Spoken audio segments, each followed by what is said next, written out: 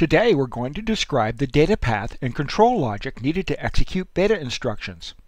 In an upcoming lab assignment, we'll ask you to build a working implementation using our standard cell library. When you're done, you'll have designed and debugged a 32-bit reduced instruction set computer. Not bad. Before tackling a design task, it's useful to understand the goals for the design. Functionality, of course.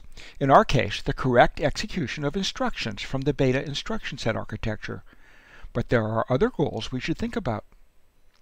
An obvious goal is to maximize performance, as measured by the number of instructions executed per second.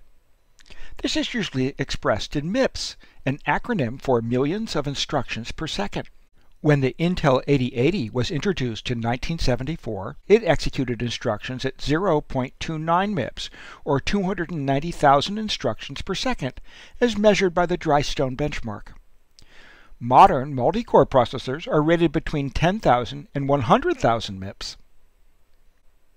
Another goal might be to minimize the manufacturing cost, which, in integrated circuit manufacturing, is proportional to the size of the circuit. Or we might want to have the best performance for a given price. In our increasingly mobile world, the best performance per watt might be an important goal. One of the interesting challenges in computer engineering is deciding exactly how to balance performance against cost and power efficiency. Clearly, the designers of the Apple Watch have a different set of design goals than the designers of high-end desktop computers. The performance of a processor is inversely proportional to the length of time it takes to run a program. The shorter the execution time, the higher the performance. The execution time is determined by three factors. First, the number of instructions in the program. Second, the number of clock cycles our sequential circuit requires to execute a particular instruction. Complex instructions, for example adding two values from main memory, may make a program shorter, but may also require many clock cycles to perform the necessary memory and data path operations. Third, the amount of time needed for each clock cycle, as determined by the propagation delay of the digital logic in our data path. So, to increase the performance, we could reduce the number of instructions to be executed. Or we can try to minimize the number of clock cycles needed on the average to execute our instructions. There's obviously a bit of a trade-off between these first two options. More computation per instruction usually means it will take more time to execute the instruction. Or we can try to keep our logic simple, minimizing its propagation delay in the hopes of having a short clock period. Today we'll focus on an implementation for the beta instruction set architecture that executes one instruction every clock cycle. The combinational paths in our circuit will be fairly long, but as we learned in part one of the course, this gives us the opportunity to use pipelining to increase our implementation's throughput. We'll talk about the implementation of a pipeline processor in some upcoming lectures. Here's a quick refresher on the Beta ISA. The Beta has 32 32-bit registers that hold values for use by the data path. The first class of ALU instructions, which have 1, 0 as the top two bits of the opcode field perform an operation on two register operands, RA and RB, storing the result back into a specified destination register, RC. There's a 6-bit opcode field to specify the operation and three 5-bit register fields to specify the registers to use as source and destination. The second class of ALU instructions, which have 1, 1 in the top two bits of the opcode, perform the same set of operations where the second operand is a constant in the range of minus 32,768 to plus 32,767. The operations include arithmetic operations, comparisons, Boolean operations, and shifts. In assembly language, we use a C suffix added to the mnemonic shown here to indicate that the second operand is a constant. This second instruction format is also used by the instructions that access memory and change the normally sequential execution order.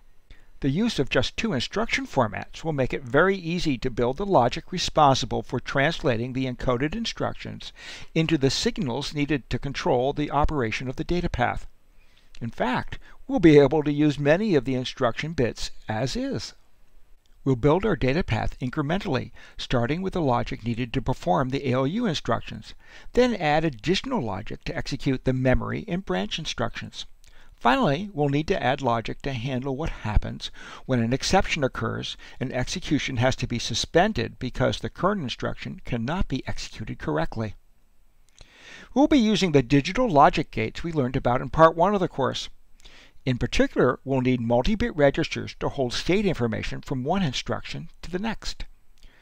Recall that these memory elements load new values at the rising edge of the clock signal, then store that value until the next rising clock edge. We'll use a lot of multiplexers in our design to select between alternative values in the data path. The actual computations will be performed by the arithmetic and logic unit that we designed at the end of Part 1. It has logic to perform the arithmetic, comparison, Boolean, and shift operations listed on the previous slide. It takes in two 32-bit operands and produces a 32-bit result.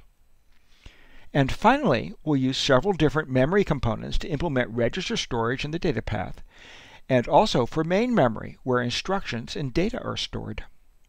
You might find it useful to review the chapters on combinational and sequential logic in Part 1 of the course. The Beta ISA specifies 32 32-bit registers as part of the data path. These are shown as the magenta rectangles in the diagram below. These are implemented as load-enabled registers, which have an EN signal that controls when the register is loaded with a new value. If EN is 1, the register will be loaded from the D input at the next rising clock edge. If EN is 0, the register is reloaded with its current value, and hence its value is unchanged. It might seem easier to add enabling logic to the clock signal but this is almost never a good idea since any glitches in that logic might generate false edges that would cause the register to load a new value at the wrong time. Always remember the mantra, no gated clocks. There are multiplexers shown underneath the registers that let us select a value from any of the 32 registers. Since we need two operands for the data path logic, there are two such multiplexers. Their select inputs, RA1 and RA2 function as addresses, determining which register values will be selected as operands. And finally, there's a decoder that determines which of the 32 register load enables will be 1 based on the 5-bit WA input. For convenience, we'll package all this functionality into a single component called a register file. The register file has two read ports which, given a 5-bit address input, deliver the selected register value on the read data ports. The two read ports operate independently. They can read from different registers or, if the addresses are the same, read from the same register. The signals on the left of the register file include a 5-bit value WA that selects a register to be written with the specified 32-bit write data, WD. If the write enable signal, WE, is 1 at the rising edge of the clock signal, the selected register will be loaded with the supplied write data. Note that in the beta ISA, reading from register address 31 should always produce a zero value. The register file has internal logic to ensure that happens. Here's a timing diagram that shows the register file in operation. To read a value from the register file, supply a stable address input RA on one of the read ports. After the register file's propagation delay, the value of the selected register will appear on the corresponding read data port, RD. Not surprisingly, the register file write operation is very similar to writing an ordinary D register.